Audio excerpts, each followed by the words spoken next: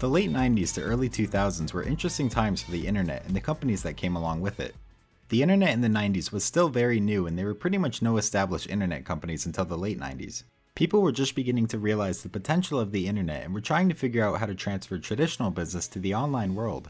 It was, however, rapidly growing. In 1990, only around 15% of US households owned a computer, and by 2000, that number had reached 50%, with 41% of households having internet access.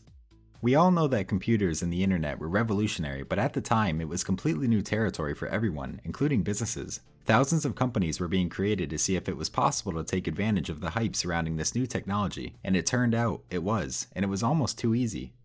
The unbelievable growth rates of the internet and the future potential of it caused investors to give out unbelievable amounts of money to fund these companies. Investors were giving millions to almost any internet company, even if they didn't have proof of any revenues or if they even had working technology. Just having something as simple as a prefix such as E, I, or net were factors considered by investors. It was a completely new market fueled by hype and excitement, which was thought to be backed by the extremely high growth rates the internet allowed for. Internet companies could bring in users and potential revenues that were unheard of for any traditional company, leading to high valuations and wild speculation. Companies experienced record breaking IPOs, ridiculous early stage funding, and huge mergers and acquisitions with little to back any of it. This made some people millionaires and even billionaires overnight, but a lot of money was also lost. One of the dot com era companies that demonstrated this was a video streaming site called Pixelon. Founded in 1998 by Michael Fenne, Pixelon promised to provide high quality video to their site through uploaded content by the company, as well as live coverage of events. Similar to what YouTube is today, but Pixelon would be providing the content. Pixelon had received $35 million of financing even though they didn't have proof of any revenues or that their software was even capable of doing what they said it could. Fenne told investors their plans of creating a 1,000 channel internet broadcasting site that could compete with CBS and Disney without a plan on how to achieve it, and that's all it took for investors to get on board with him. With the funding, Fenne hosted a $16 million launch party called iBash 99, with the intent to show off the company's software and ability to stream high quality video to thousands of people. This was supposed to be the company's first content offering, which somehow justified spending nearly half of the company's capital on a party.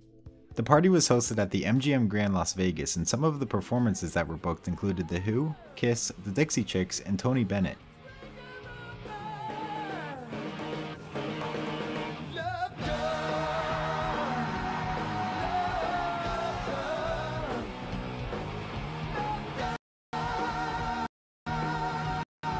The people at home that attempted to watch it online were let down when error messages kept popping up. The stream was essentially unwatchable for the average internet user and Pixelon couldn't even keep the content on their site because the music artists demanded their performances be taken down. It was clear that the technology didn't work and the $16 million had essentially gone to nothing. The following months weren't good for Pixelon. Pixelon's founder and chairman Michael Fenne was fired and it was later found out that he was not actually who he said he was. Michael Fenne was instead David Stanley, who was a fugitive who had been on the run since 1996. He was sentenced to 36 years in prison for fraud related charges, but instead of going to prison, he decided to run off and start a tech company. And he progressed fairly quickly with it too. Him and the other founders of his first company, Digital Motion Video, had successfully created software that allowed video to be played full screen at 30 FPS making it look just like televisions at the time. They didn't have a way to stream it to millions of people though, like they had hoped. Stanley didn't actually do any of the technical work, and people he worked with reported that he lied to customers, investors, and associates about his skills and the potentials of his companies. When he was starting Pixelon, he made extremely unrealistic promises that the technology at the time could not support and was not even close to being able to. Stanley was fired after the iBash disaster and he turned himself in shortly after that. Pixelon fired employees and reduced its operations to try to save the company, but they eventually had to file for bankruptcy in 2000. But either way, Stanley's charming personality tricked investors and companies to invest millions into him and his ideas. It just goes to show how easy it was to make money during this time, and someone could just fake their way to success. Another hyped up company was Commerce One. Founded in 1994, Commerce One created software that provided an online marketplace for businesses to trade with each other and their suppliers. Traditional buying and selling of small but necessary supplies such as paper clips now had an automated system with standard procedures, saving a lot of time and money for companies in any industry. This type of business to business e commerce gained a lot of popularity at the time, and investors were quick to throw a lot of money at the companies creating it. Companies such as Boeing, General Motors, Chrysler, and Wells Fargo bought the software, as well as hundreds of other companies, and the future was looking very promising for Commerce One.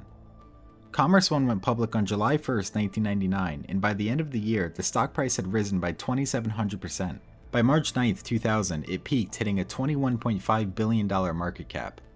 Even though Commerce One did have the technology and the sales to justify some of its value, most of it was driven by investor hysteria, and no one, not even Commerce One, really knew how to operate and scale in this new industry. They did have money though, and a lot of it. Shareholders and employees who took stock options became millionaires overnight, and the company had the funds to do pretty much anything. There aren't any reports of them doing anything as crazy as Pixelon, but they did go through millions trying out new projects without much of an idea of what they were doing.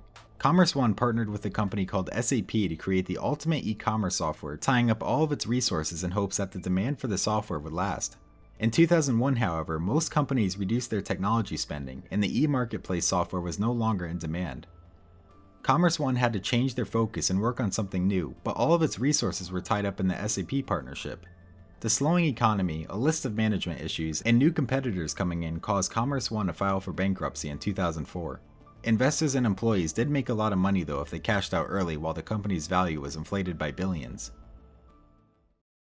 One of the more popular cases is Broadcast.com, founded in 1989 by Christopher Jaeb, who later brought on board the now Mavericks owner Mark Cuban in 1994. Broadcast.com was a site that allowed people to listen to sports games online. At the time, this wasn't as hard of a task as high quality video streaming, and it also had a lot of demand. They were able to get a working product released, and on its IPO in 1998, the stock price immediately rose by 250% on the first day. The company was worth $1 billion at the time, and the founders immediately had individual fortunes in the hundreds of millions. Just nine months after the IPO on April Fool's Day 1999, Yahoo announced the acquisition of the company for $5.7 billion worth of Yahoo's extremely high valued stock at the time, turning the founders from millionaires into billionaires overnight. Yahoo was essentially paying $10,000 per monthly user, which was insane for a company offering something for free. It wasn't even expected to make a profit until years down the road, and they were planning on losing more money each year until then. At the time of the acquisition, Yahoo was declining in sales, so this was an attempt to stay ahead of the competition and gain some extra users. Broadcast.com had 570,000 users at the time of the acquisition, which was a decent amount but not worth $5.7 billion. And just three years later, Yahoo ended up shutting down the site. Cuban received $1.7 billion of stock, and even Todd Wagner, who only owned 1% of the company, received over $50 million worth of stock from the acquisition. Somebody has got to be the luckiest person in the world. Somebody's got to be, right? it's you. And I'm just glad it's me. This is known as one of the worst dot .com deals, but Yahoo is still around today, and the founders of Broadcast are extremely wealthy. So no one really lost, just Yahoo in the short term. In 2000, several companies placed huge sell orders on their stocks, which caused investors to panic, triggering them to sell their own stocks. The stock market dropped 10% in just a few weeks, and combined with other factors over the course of two years, a total of $5 trillion worth of value was gone. People finally realized that these internet companies were not worth their valuations, and only around 50% of the companies survived. But a lot of people made a lot of money along the way. Overnight millionaires and billionaires were created, and some of the companies are still around today and thriving. Thanks for watching and let me know if you have any suggestions for future videos. Take care.